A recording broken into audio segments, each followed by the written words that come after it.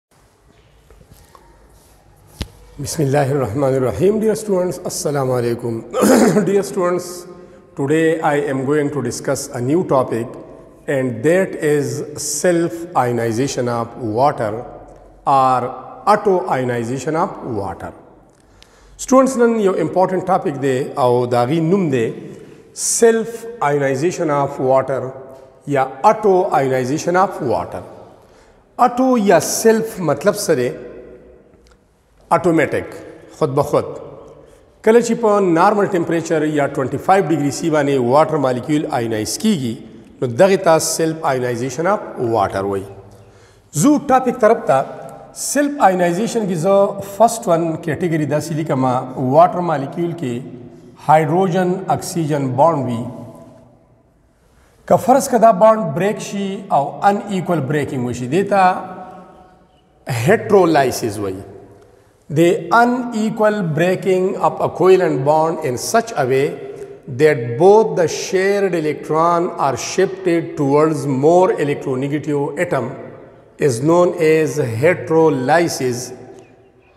هټرولیټیک کلیویج آر هټرولیټیک فیشن د الفاظ استعمالیږي نو واټر به آینایز شي هایدروجن آین ته او سره هایدرو اکساید آین په دې باند کې یو الکترون د هایدروجن او هغه لاس کو لاز اپ الکترون د وجې نه پوزیټیو چارج اکسیجن خپل بانډډ الکترون هم والی خو د هایدروجن نه الکترون هم ایکسپټ کی اغم والی نو د ګین اپ الکترون د وجې نه نیگیټیو چارج راځي بیا چونکی دا واټر مالیکیولز خو یو نه کم از کم موږ به 1 مول واټر الو 18 ګرامز به واټر الو په 1 مول واټر کې یو ګیډو نمبر اف واټر مالیکیولز نو سبا آینایز کیږي او سبا ایز سچ پاتې کیږي نو موږ په دویمه طریقه باندې داسې لیکلی شو چې که فرض که دا موږ سره واټر مالیکیول دی دا یو واټر مالیکیول داسې شو دی سره لون پیری او بل واټر مالیکیول په دې انداز باندې والو داسې ټو مالیکیولز کنسیډر کو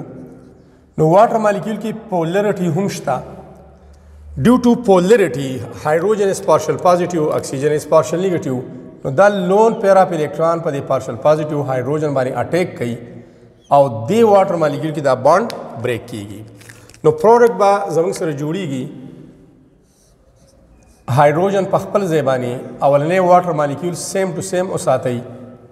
او دلته کوارډینیټ کویلنټ بانډ جوړ شي ود هایدروجن آین اف انذر مالیکول واټر مالیکول په دې پوزټیو چارج راشي او دا شي پلس او ایچ نیگیټیو او یا موږ داسې لیکلی شو دا انداز هم ټیک دی داسې د اسانۍ لپاره هم ټیک دی او دا انداز زمونږ هم ټیک دی چې موږ دا والو واټر H2O او فلس انذر واټر مالیکیول کم کې چې بریکینګ کیږي نو هغه داسې سپلیټ ولیکي نو داسې اغستې شو په دې انداز باندې دا پارشل پازیټیو دی او دا پارشل نیگیټیو دی دا بانډ بریک شي چې تاسو ته کومه طریقه اسانه وي داسې نو دا به شي ایچ تھری او د دې واټر مالیکیول اکسیجن با لون فیر شیر کوي د هایدروجن آین سره تر کوارډینیټ کویلنټ بانډ دا به هایدرونیم آین ته کنورټ کیږي او پلس هایدرو اکساید آین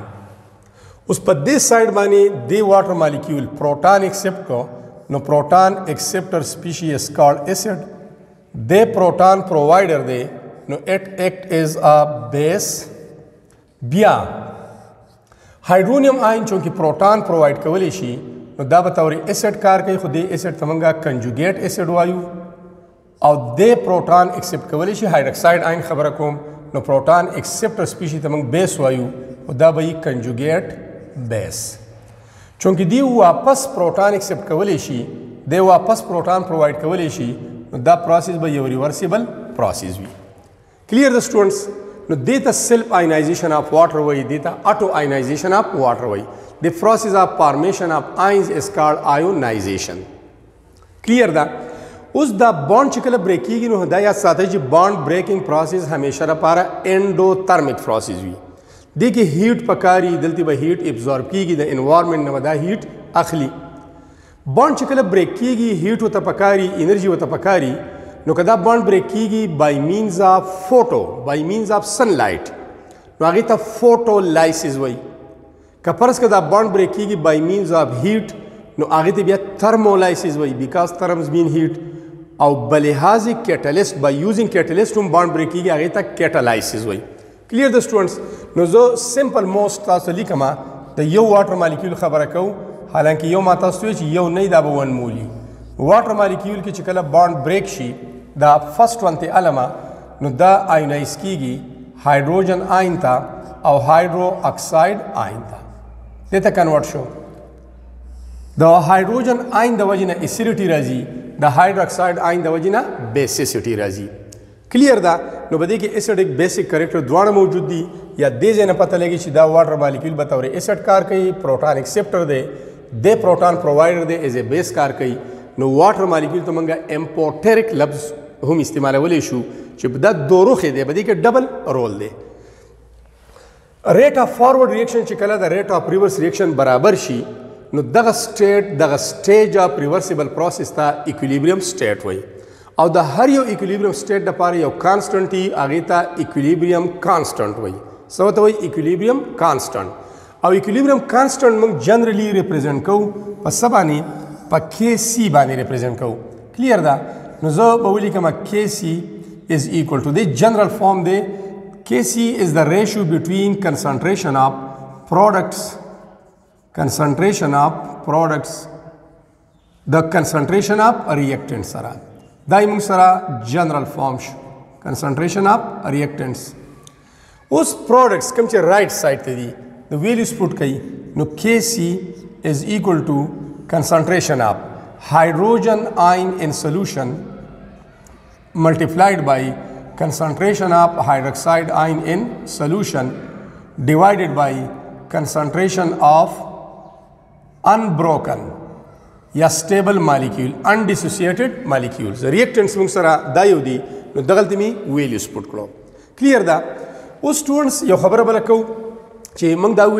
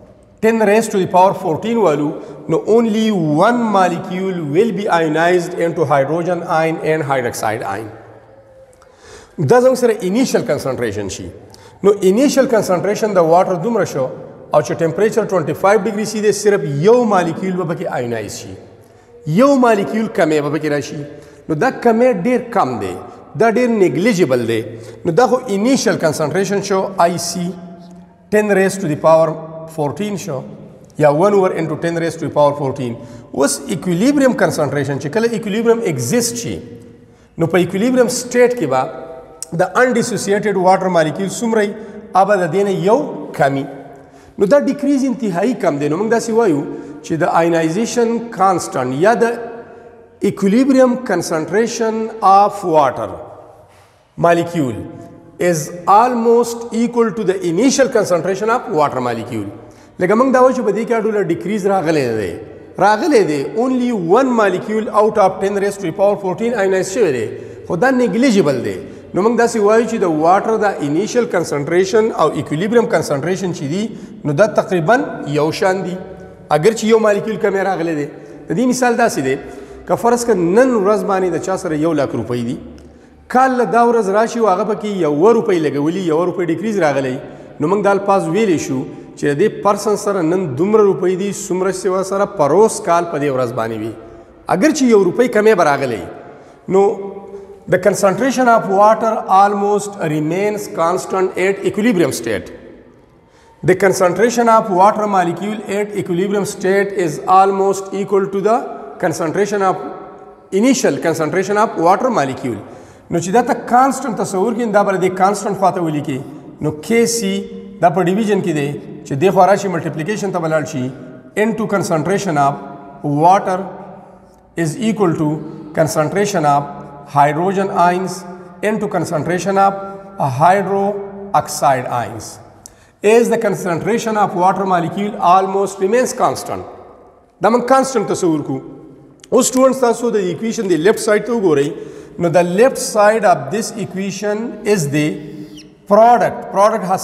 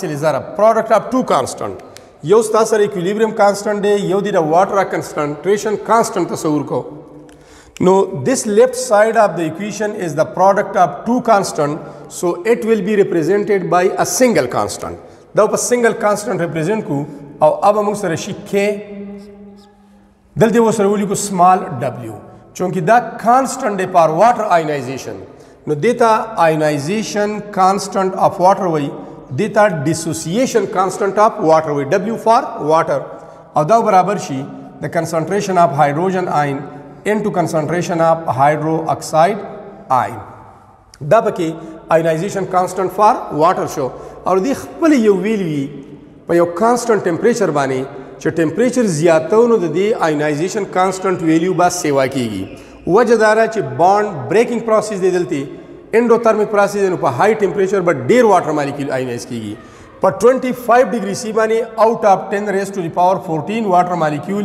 اونلی 1 آینایز کیږي نو که ټمپریچر 25 نه سیوا کیږي نو بیا به نمبر اف واټر مالیکول ډیر آینایز کیږي یا به 2 مالیکول یا 3 یا 4 اینڈ سو آن نو د انکریز ان ټمپریچر سره به دا ویلیو چې دا به سیوا کیږي کلیر د سټوډنټس اوس دې کې کومه زدا سی ویلی کومه آر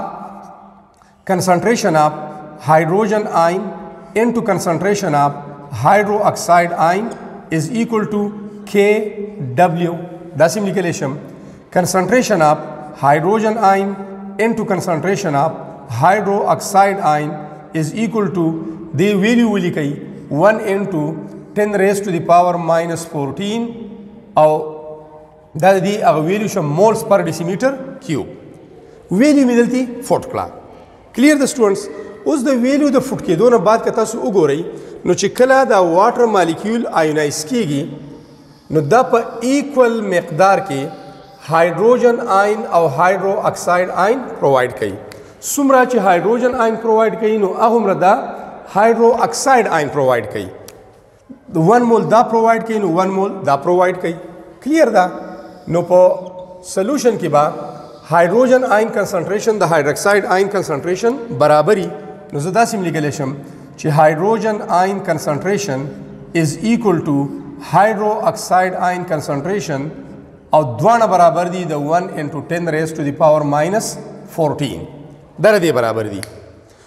اوس دوه خبرې سټوډنټس ځان سره کلیر ساتئ پریویسلی مونږه لوور کلاسز کې دا ډیسکشن کوو چې پیور واټر از بیډ کنډکټر اف الیکټریسيټي د پیور واټر نه کرنٹ نه پاس کیږي نو سټوډنټس دا یاد ساتي چې کرنٹ با هغه ځای نه پاس کیږي کوم ځای کې چې فری مومنټ اف آینز وي فری مومنټ اف الیکټرونز وي یا فری مومنټ اف چارجز وي اوس چارجز خو دلته شته نه ځکه چې آوټ اف 10 ریس ټو دی پاور 14 واټر مالیکول یو آینایز کیږي نو آینز ډیر زیات کم دي نیګلیجیبل دي چې نیګلیجیبل دي نو موږ ځکه وایو چې پیور واټر نه کرنٹ نه پاس کیږي دویم خبره موږ دا کوو چې پیور واټر از نایدر اسیډیک نور بیسیک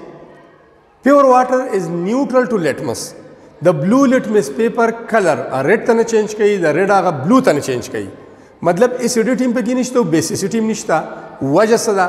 وجه کلیر شو نن چې هایدروجن آین مونږ ته اسیډیټی شو کوي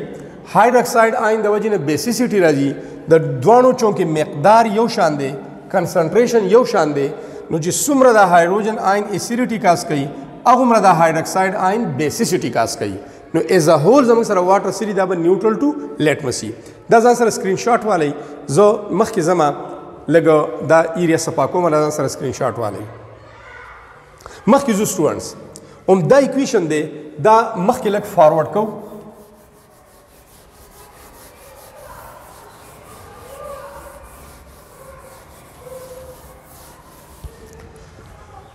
دغه ویلیو سپورټ کوي چونکه د دوه مقدار یو شان دی کنسنټریشن یو شان دی دوه د 10 ریس ټو پاور ماینس 14 برابر دي نو دا زموږ سره شو کنسنټریشن اف هایدروجن آین هم د 10 ریس ټو پاور ماینس 7 برابر شو کنسنټریشن اف هایدروجن آین از ایکوال ټو